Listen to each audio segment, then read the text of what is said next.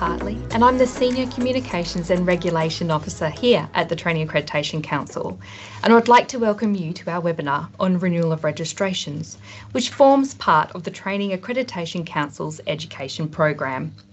We would like to take a moment to acknowledge the traditional custodians of the land we are meeting on, the Whadjuk people. We wish to acknowledge and respect their continuing culture and the contribution they make to the life of this city and this region.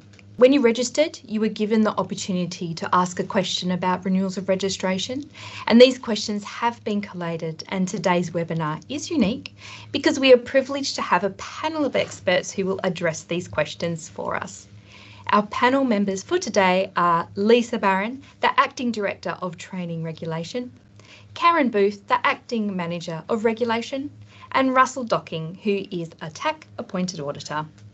Lisa, your question is why do RTOs need to apply for a renewal of registration and does having an audit add value? Um, yeah, great. Thanks, Mel, for the question, and hello, everyone. Um, just before I answer that question, I really want to say that it's really good to be here today. And I'd really like to acknowledge that this is the first time that we've conducted a webinar like this, where we've got a panel made up of the TAC's Secretariat staff, as well as Russell as one of our um, auditors. We've also got the pre-submitted questions from our audience and the opportunities to speak to you about the renewal of registration process. I just want to thank everyone for attending um, initially and for your participation and willingness to be involved in this way. It's really an exciting new delivery mode for TAC, and we hope that you find it useful and really informative. As Mel said, at the end of the workshop, we'll be really interested in hearing your feedback on the webinar and the approach used. And as you know, we use this feedback to help inform any future workshops and education program strategies. So the information that you give us is really important. But for now, I'll just move on to Mel's first question about why RTOs need to apply for a renewal of registration.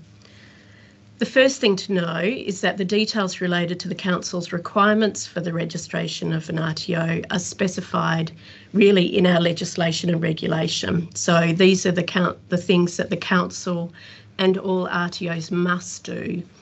More specifically, these are detailed in the WA Vocational Education and Training General Regulations 2009, or the VET regs as um, often we call them. While initial registration for an RTO is for two years, the regulations specify that an RTO can only be registered for a maximum period of seven years. And after this time, the RTO will need to renew its registration. About six months before the end of your registration period, your RTO will need to submit an application for its renewal. And when the application is received by the Secretariat, the Secretariat does a risk assessment process. And that really is to work out whether or not an order is required. And I think um, Caron is going to talk through that process a bit later in this, after after me. So, in answer to your second part of the question, Mel, which is about does having an audit add value? I think if an audit's required as part of the renewal of registration, it's really important for RTOs to know that the audit can provide an enormous value to them over the period. The audit's really a planned, systemic, and documented process to assess an RTO's compliance and it should give the RTO valuable information about the quality of their training, their assessment, their client services, and the management systems used to meet their obligations and achieve quality outcomes. And really, at a minimum, it confirms that the RTO is meeting the standards. Every two years, the Council conducts an RTO and stakeholder perception survey with all its RTOs to understand their views and perceptions of the work of the Council and we know this as the RTO survey. The most recent one was conducted in 2022, and the results will be published in the coming weeks on our website if you're interested in having a look at that. But we know from the results of that survey that for RTOs that were subject to an audit, over 85% say that audits are a worthwhile experience and that they add value to their organisation.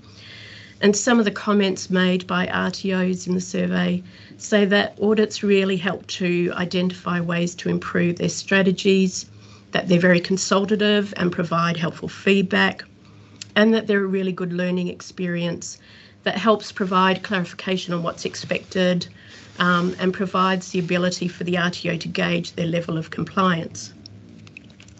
They also talk about the audit providing an opportunity to improve the, their documentation and their evidence gathering, as well as providing confirmation that the organisation and its systems are doing really well.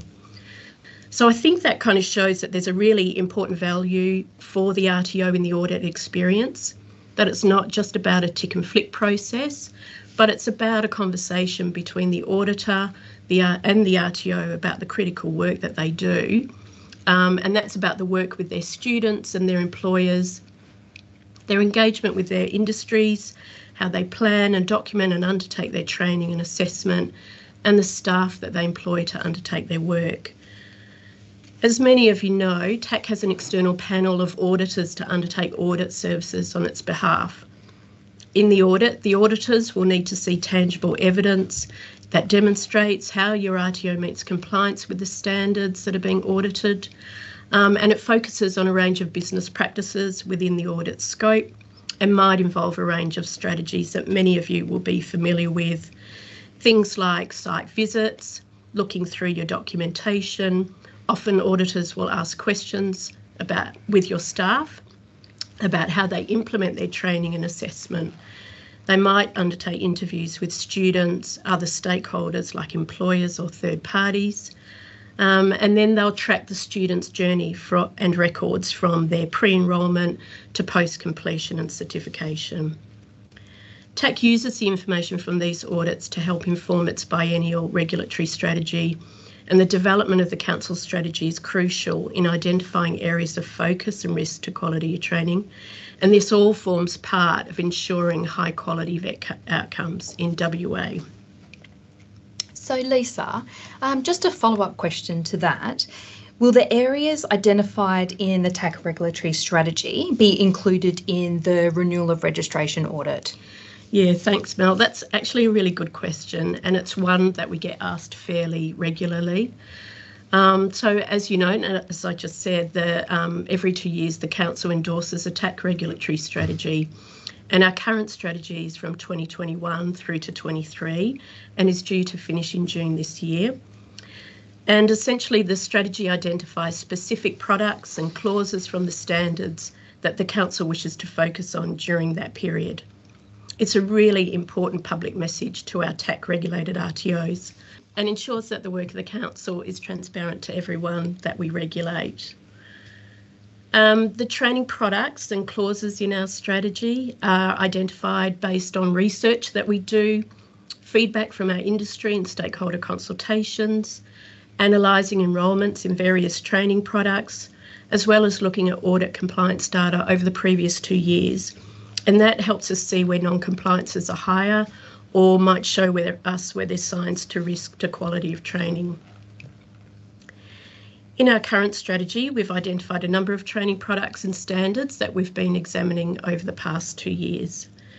The training products include units of competency, and so they're things like uh, units leading to high risk work licences, first aid, preparing to work safely in the con- in construction industry or the white card as we know it, or units leading to heavy vehicle licences, just to name a few.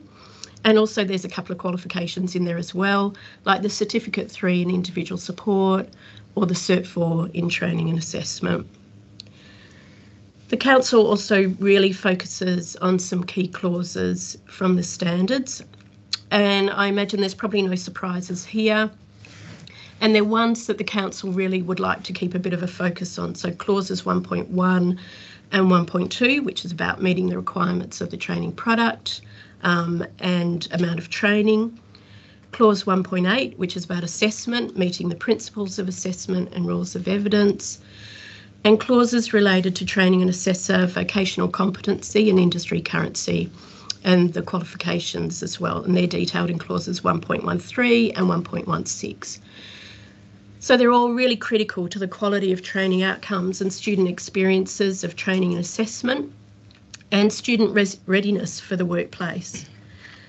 So if you've experienced an audit over the last 18 months or you're due to submit an application in the coming months, it's probably highly likely that if you're delivering any of those training products that appear on the strategy, they'll be included in your audit. And the same will be true for the clauses that I've just talked about then.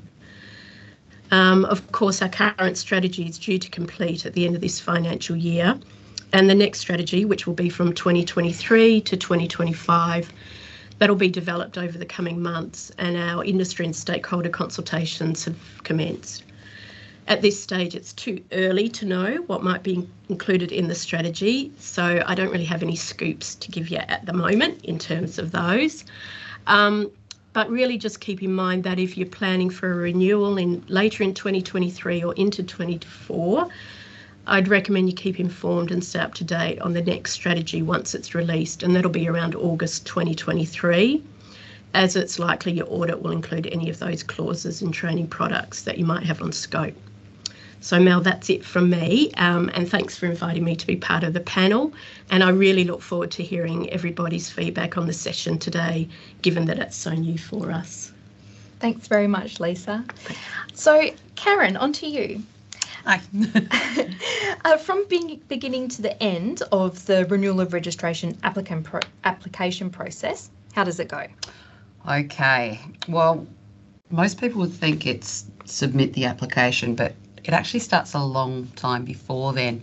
Um, you can actually start getting ready for your renewal of registration application uh, whenever you like, and it's something that you could do as continuous improvement from now until whenever your application is due.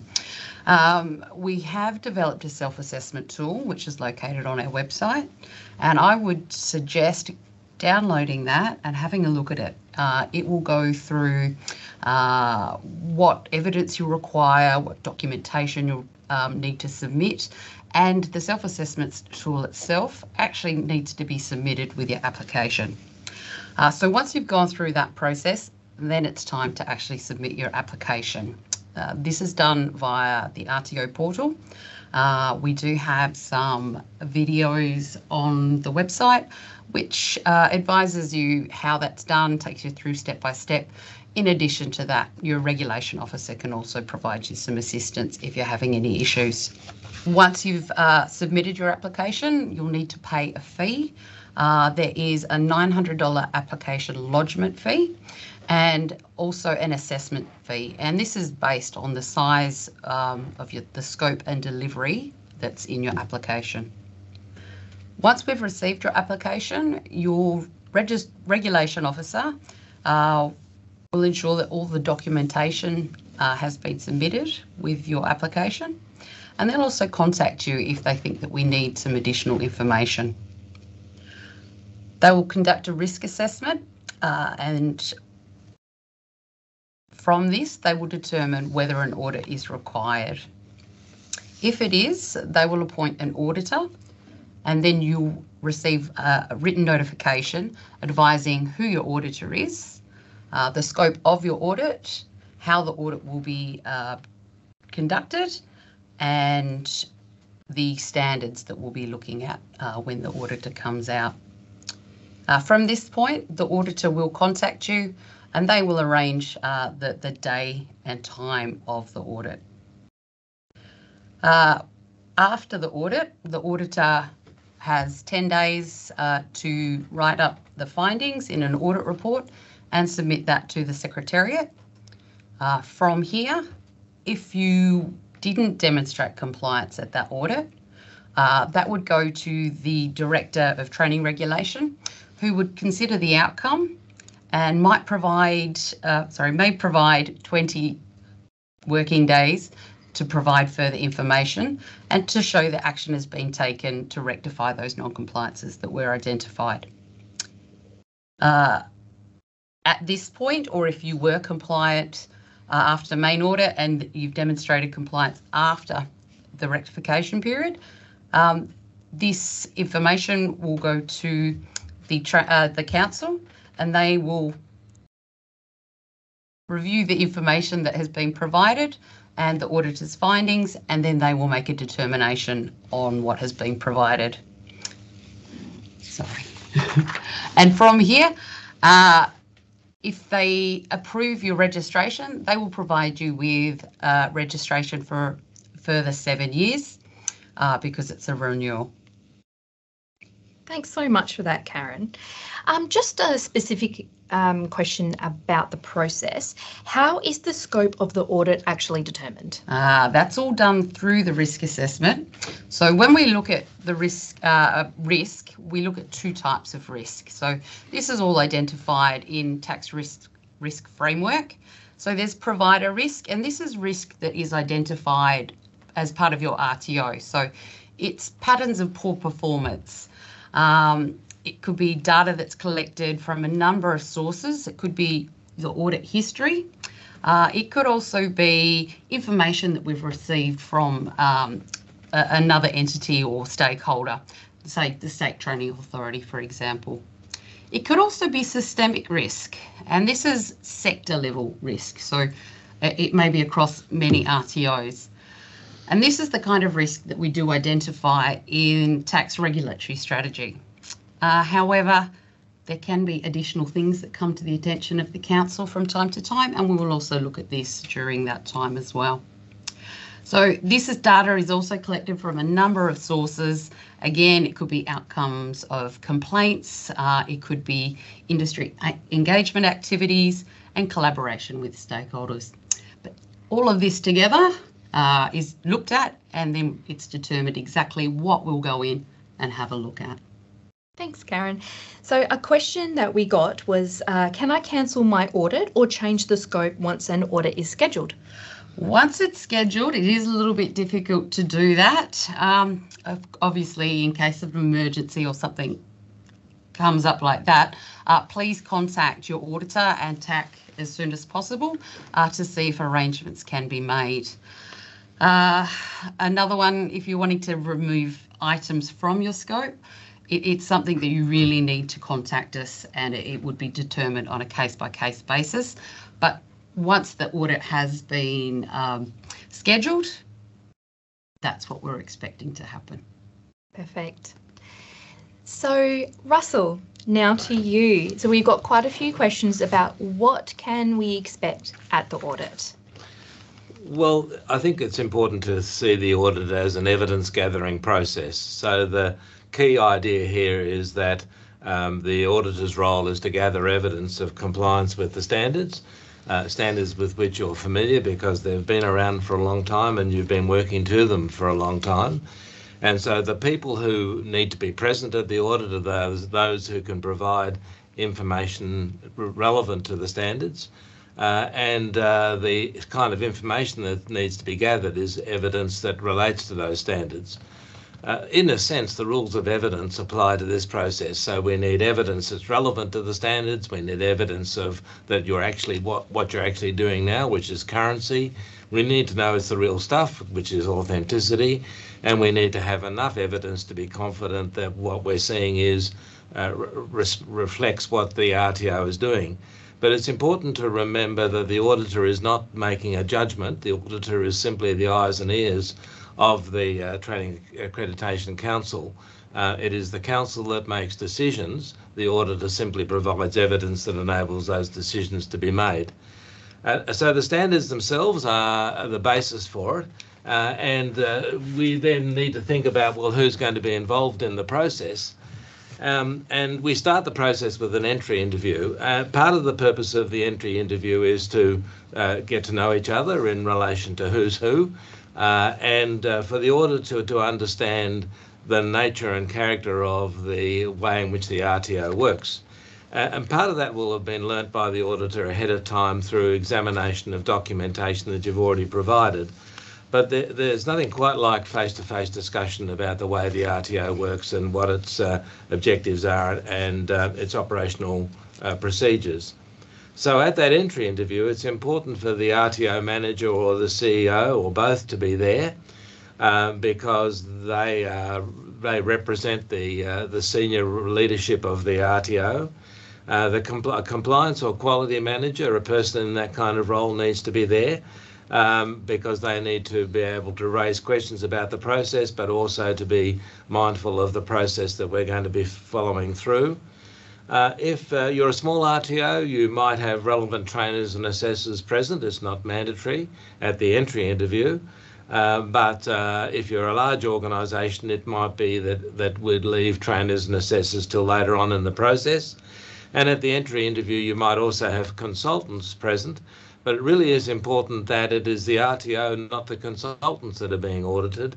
And so, under those circumstances, the consultants are there perhaps to advise the RTO, but not to respond to auditor questions. Uh, the the consultants themselves would play a, a much much of a backroom role. The standards that are going to be audited, of course, are the standards for RTOs. Uh, but and when it comes to renewal of registration, unlike extension to scope, pretty well all the standards are reviewed. So I'm just using my checklist here, and you can see from this checklist that in terms of standard one, virtually every part of the standard is is addressed in the audit. There are some some here that I'm showing in green, and they would be where applicable. So things like if you're using supervisory arrangements for uh, people in a training role, then those standards would apply. If you're delivering in training and assessment, uh, those standards would apply. Um, when we move to standards two, three, four, and five, uh, uh, pretty well everything is covered. Um, but again, only some are left uh, as electives, such as if you are using third parties, uh, then parts of standard two would then kick in.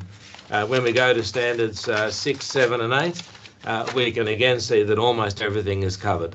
So it's very much like uh, a, an initial registration within the context of uh, of what or the, the, scope, if you like, of the components that are being audited. However, the focus shifts from an initial registration. In an initial registration, you're making a set of promises through through which you uh, which you uh, document in the form of uh, of policies and procedures and resources in the case of a renewal of registration, we also now have information about what you, you you also have information about what has happened in the past. So you have evidence of outcomes as well as evidence of ambitions and plans. Uh, and so the audit becomes uh, a, a, little less uh, broad in scope, but more significantly focuses now on how the organisation is running as well as what its ambitions are for the future. So the people who need to be involved in the audit will depend to some extent on the evidence you're gathering.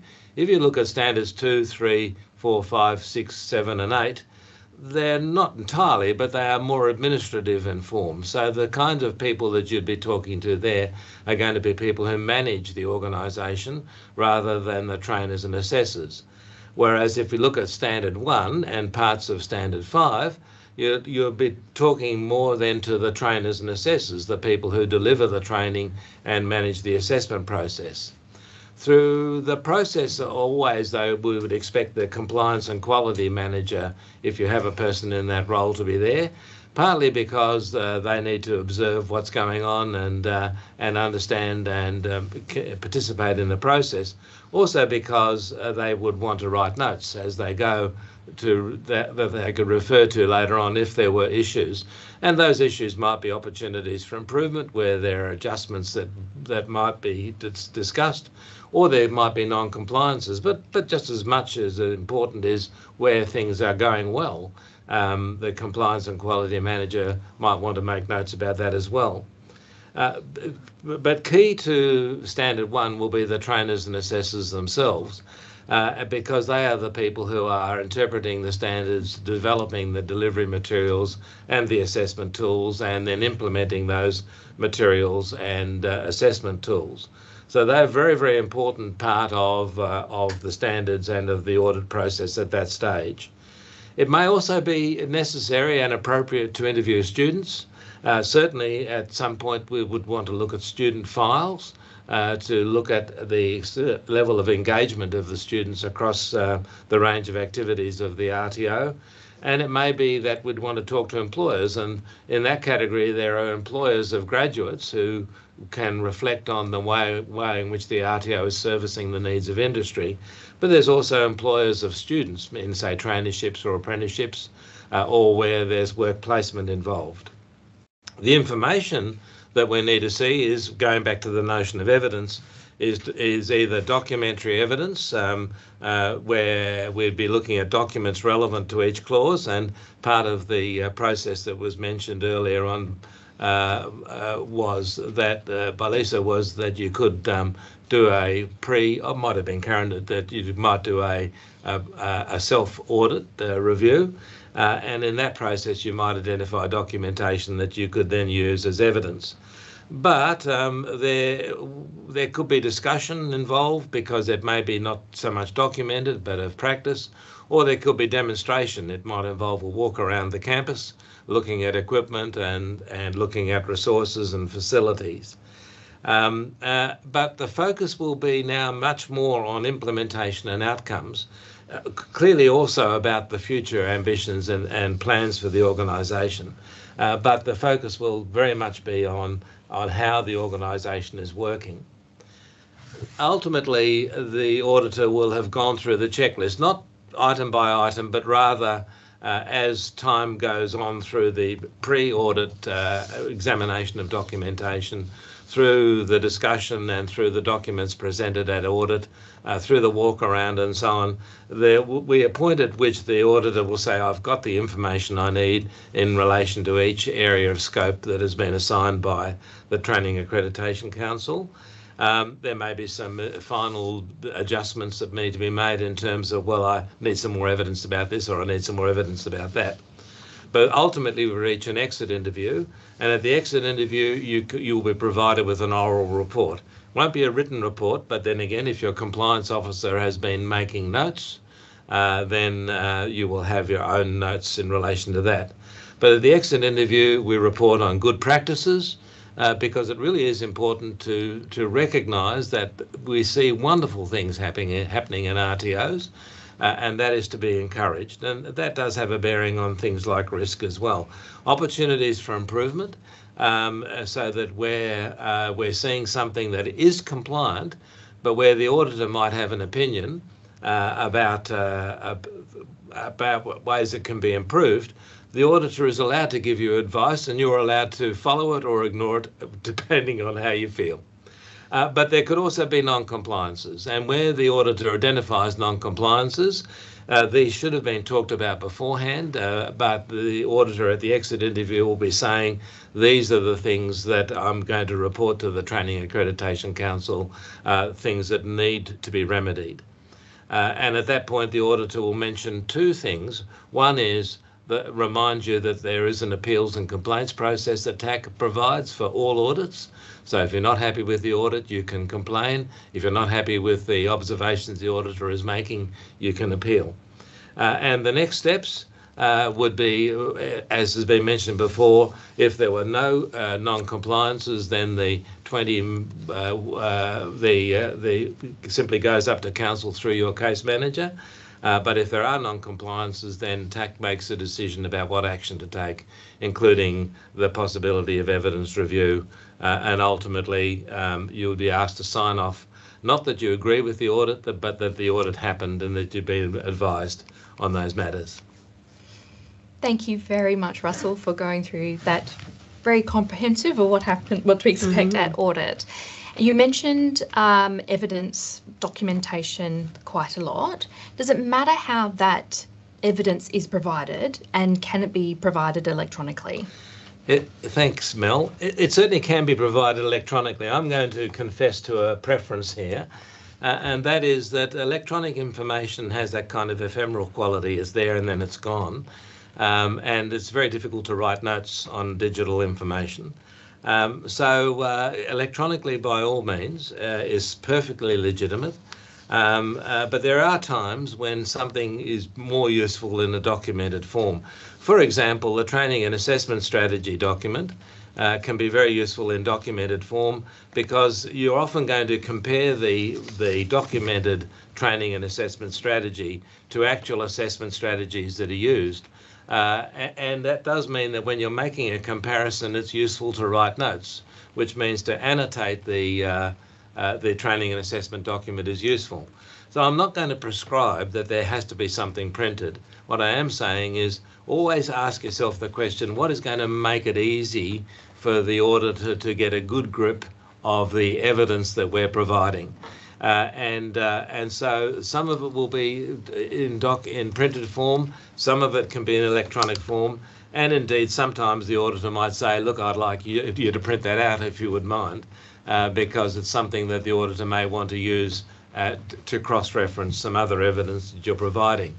Uh, for example, if we're dealing with two bo bodies of evidence, both of which are digital uh, or electronic, then it becomes difficult to carry from one to the other, and that's where printed documentation is better.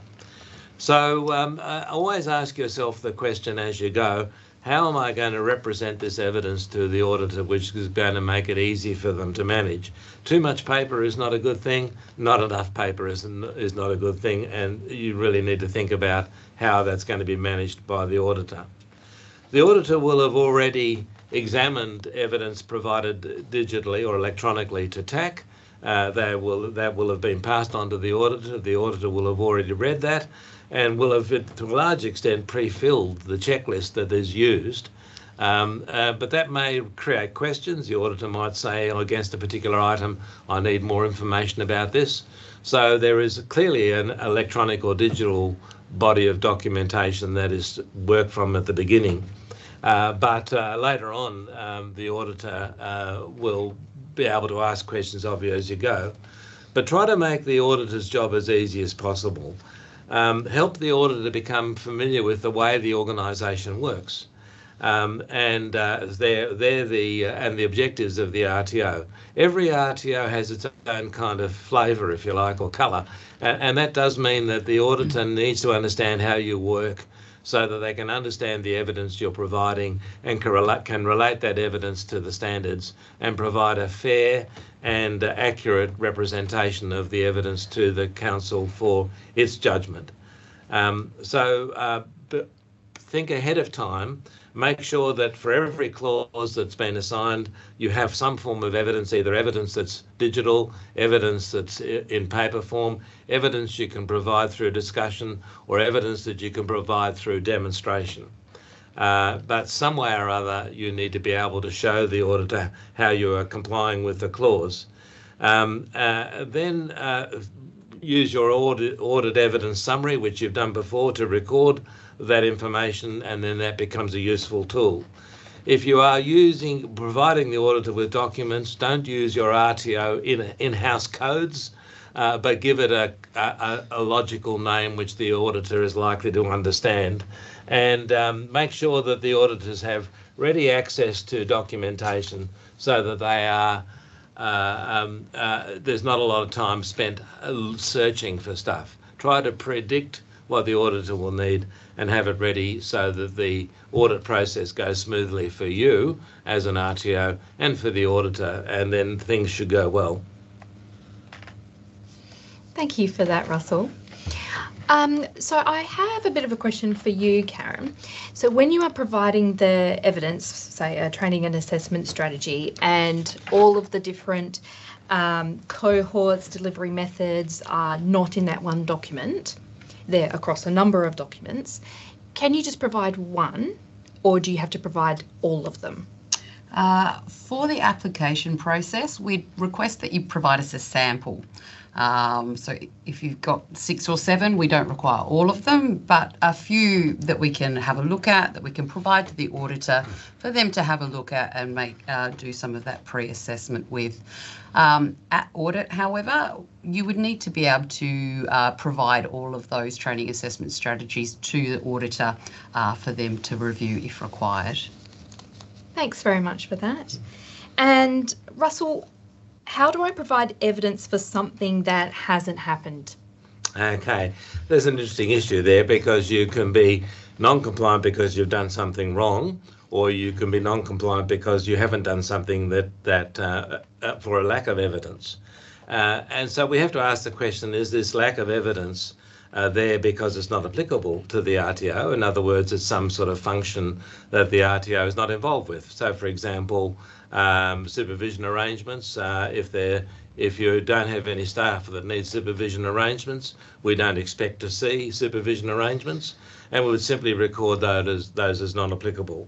Um, or there could be, when it comes to third party arrangements, if you have no third party arrangements, and by this I mean third parties within the frame of uh, standard 2.3 and 2.4 where a, a, third party is acting on your behalf as if they as if they were an RTO uh, then we would simply record those as not applicable. Uh, and sometimes uh, that can be because you thought an assessment arrangement through a say apprenticeship or a traineeship was a third party arrangement where in actual fact they're simply providing evidence for your assessors to work with and it's not technically a third party arrangement in that sense. So you might have said yes, uh, and the and the TAC may have tagged those as as criteria to review, uh, but then the auditor discovers they're not really third party arrangements, in which case they'd adjust their report and say not applicable. But where it is applicable, but it hasn't occurred, such as an appeal or a complaint, I mean, we very rarely find appeals and complaints uh, actually being uh, activated because the formal processes at least because many RTOs have found ways of resolving that before it becomes part of the formal process. Uh, then we would simply look at the policies and procedures, much as we might uh, for an initial registration where nothing has happened. What we'd be asking the question is, are you ready to cope with and respond to appeals and complaints? Um, obviously, we'd be very happy to see that there were no appeals and complaints, but we would also be happy to see that you are ready to deal with them should the need arise. Thanks, Russell. Um, before you were talking about student records, and I've just got a couple of questions about that. Um, when you look at the student records, do you pick who you look at? Um, does the RTO? Uh, what sort of um, do you want to see in there in the records um, that kind of thing what exactly happens well okay there are a number of different kinds of student records that we would look at um, so if we're looking at training and assessment um, we might say well uh, and in particular say assessment records we, we may want to look at students who have succeeded and students who have not uh, because we want to see how not only how judgments are uh, made in relation to the assessment process but how the RTO and the student have responded to those judgments. Uh, and so, for example, recently I was looking at an example where students got things wrong. Uh, you could see then that supplementary training had been provided and that the assessments were then adjusted to accommodate the fact that the student had subsequently demonstrated competence. So what we see there is a kind of narrative which says not only um, is the RTO being uh, closely, closely examining student performance, but they're responding to student needs uh, uh, by providing additional training and then following up with further assessment. And that narrative tells us that that RTO is working well, and that's really good to see. So we don't want to just see the successes, we want to see the challenges as well, because that tells us a lot about how the RTO is going. When it comes to things like looking at uh, student records, if you like, from cradle to grave, from initial interest to certification, what we want to see there is a kind of narrative of the student's life with the RTO, which could be just one day or it could be a year. Um, but what we want to see is uh, sort of the way in which the students move through from that initial interest uh, through enrolment, uh, through participation, uh, through assessment, and then through to certification. And in that way, we get a whole of life picture, if you like, of the way in which the RTO uh, supports and manages the training and learning experience and assessment experiences of the learner uh, through to ultimately through to certification. And that gives tells a lot about how the RTO works. So um, uh, when it, Mel, you also asked about whether we select the students or you do. Um, initially, we would expect you to select students, but then again, you might have selected some juicy choice uh, examples. Uh, and it's not uncommon for an auditor to say, now I want to see this kind of student. I might want to see uh, uh, someone who's gone through RPL. I might want to see someone who's in, where credit uh, has been involved. Uh, so the auditor will may well ask to see things that have not been uh, predicted before. And indeed, you'll find in the letter that advises you of the audit, the, the, the auditor may select to audit other criteria or seek other evidence, and that's part of the audit process. What we're about is getting the evidence uh, that enables us to say with confidence, uh, uh, which picks up that notion of sufficiency, that what we're doing is fairly representing you as an RTO uh, to and your work to the council. Uh, and and if there are issues that need to be resolved, it's good to find them out because you then have an opportunity to deal with them uh, it's best to find those issues rather than to leave them hidden away. Awesome, Russell. And just also on the student theme, when you do interviews with students, do you do them there? Do you call them up? Do you call the same students that you looked at the mm. records? So, what's the process there? Well, again, it's going to be very de- dependent on what sort of evidence we need. Um, and we're most likely to follow up with students because we're beginning to be concerned about particular issues. And again, we need to understand are we fairly representing this RTO's situation? Uh, so we may well follow up students whose files we've looked at. Uh, that if they if it's during class time, it's possible that we could see students then. Uh, if it's not, then we may well follow them up by phone calls. Um, uh, so this would always be done through the RTO. We would always make sure that the RTO was aware of the fact that we're doing that and would uh, obviously get information from it. And you will find that most RTOs, when they talk about enrolment or when they are providing information in a student handbook, uh, make it clear to students, most RTOs will make it clear to students that the, the, their documentation and information will be treated in confidence, uh, but that it will be accessible to organisations, regulatory authorities, and the like. Uh, so it's not inconsistent with uh, the, the, information that the students would have been provided with. Um, but um, it'll depend a great deal. I mean, it's not always the case that you will interview students, uh, but it is um, uh, in some circumstances, like in strategic audits, it's often a requirement of the audit. In other cases, it's where necessary or where it's, where it's going to provide useful information. Thank you. Yeah. And Caron, from the beginning to approval, how long does it roughly take for the whole process? It is dependent on the outcome of the audit. Um, we would say anywhere usually from three to six months. Um, three being everything is compliant, main audit, um, everything was provided with the application, uh, to six months where possible non, uh, non-compliances have been identified, um, so yeah, allow that period. Um, and if it does look like um, your expiry date will occur before your renewal has been approved, uh, that will be provided to the council to consider providing an extension. Oh, perfect. So we'll never let your registration run out while you're through the process. Yes. Great, thank you.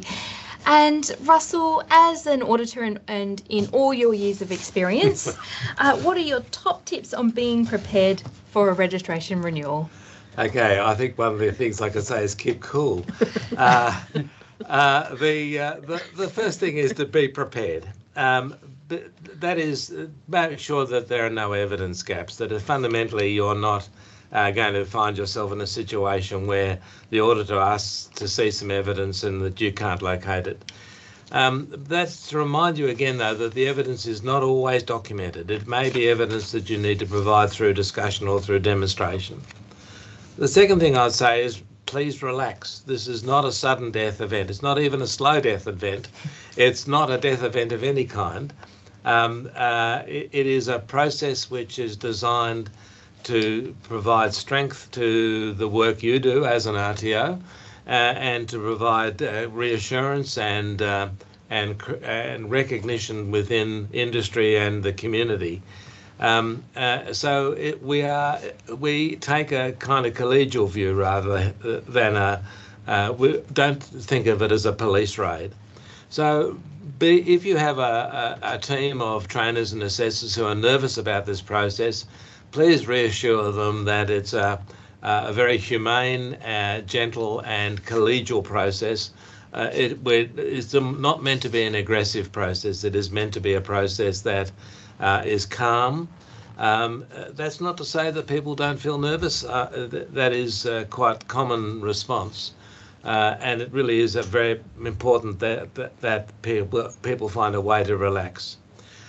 So think about any problem that is found as an opportunity to improve. Don't think of it as a kind of criticism or an attack uh, or anything of that of that kind, but rather as something discovered that can lead to improvement. And has already been mentioned right at the beginning um, that the response from most RTOs is that audits of this kind are, are welcome because they provide you with an opportunity to reflect on what you do and improve on what you do.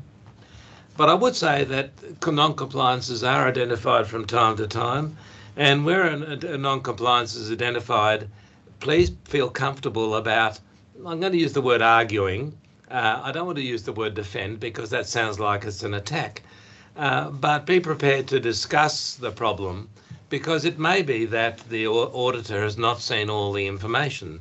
And quite commonly, one finds that there is information about it, and you get that sort of aha response where the person says, Ah, oh, that's what you're looking for. I've got that over here. And they produce evidence that exactly what you need. So it may be that you didn't quite understand what evidence was needed um, or maybe didn't immediately recognize that this evidence would relate to this criterion. So be prepared to discuss it. Uh, it might be that, um, that that there has been a misunderstanding by the auditor about the client group you're dealing with, the way in which you deal with things, or even in relation to the expectations of industry. So you may need to educate the auditor. I mean, it's not uncommon for an auditor to find that they need to learn from the process. Um, at the end of the day, though, uh, the compliance or non-compliance is determined by the standards. And so if the auditor is still not satisfied that what you're doing is providing evidence of compliance with the standards both through your plans and through your activities, then the auditor will stick with uh, non-compliance. But don't just let it go through unless you've had a decent discussion about it. The auditor is not allowed to advise you about how to resolve it, but you are allowed to postulate or hypothesize uh, about ways you might deal with it. Um, so it's it's it can be that kind of collegial discussion, but the auditor cannot tell you how to deal with it or solve it as a as an issue, but they can spend time explaining to you why it's uh, non-compliance, and not surprisingly, such an explanation often gives you some pretty good hints about how you might resolve it. And finally, be flexible, be frank, and be fearless don't feel that uh, that this is uh, meant to be a, an aggressive experience. It's meant to be a gentle, uh, but nonetheless searching experience. And if I can sum it up in two words, don't panic. Thank you so much. Uh, that brings us to the conclusion of this webinar and I would really like to thank the presenters Lisa, Caron and Russell for providing their knowledge and expertise today on renewals of registration. I would also like to thank you for your participation as well and I hope you have found this webinar informative. If you have any further questions, I encourage you to speak to your regulation officer. That is why they are there and a recording of this session will be available on TAC's YouTube channel and on our website. I would also like to let you know that our website address will be changing at the end of this month, so keep a lookout for um, notifications, emails, um, and also the TAC update. A certificate of attendance and a short survey will be emailed to you in the next week. So once again, thank you so much and goodbye.